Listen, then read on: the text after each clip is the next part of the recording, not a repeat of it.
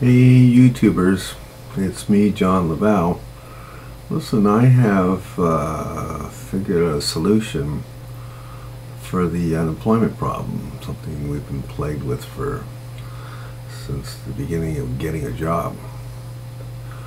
Uh, now I don't blame people who are not working. I mean, work is hard to get, uh, uh, and you know everybody needs work. I mean, they need to put food on the table they need uh, clothing, shelter, all the things we uh, are necessities, and uh, we need a job to get the money to do that, obviously. Um, unfortunately, there's always, uh, who knows, 10 15% of people are unemployed. Uh, they're employable, but there just isn't enough work to go around. So, uh, how do we make it so that there is enough work to go around? My solution to the problem is is uh, well, it's a simple equation. Let's say there's 10% uh, of the people are unemployed in the country. If you take all the people who are employed by companies and you were to, were to reduce their hours by 10%, so if you worked 40 hours, you would uh, knock off four hours out of that so you're working 30, uh, 36 hours. Uh, if everybody did that, then the 10% who don't have work would now have work because the companies would uh, need to fill in that gap so they have to hire more people.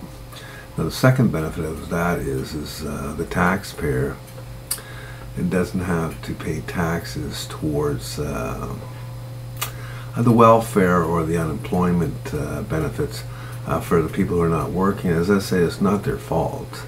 Um, you know, most people want to work. It's just, uh, where do I get work, you know? And, uh, I mean, myself, I've been unemployed. Uh, I've been on, you know, like a type of government assistance unemployment. And, you know, I had to do that until I could get work. And I know work is tough to get, so that is a solution. Um, cut back everybody. It's a simple equation.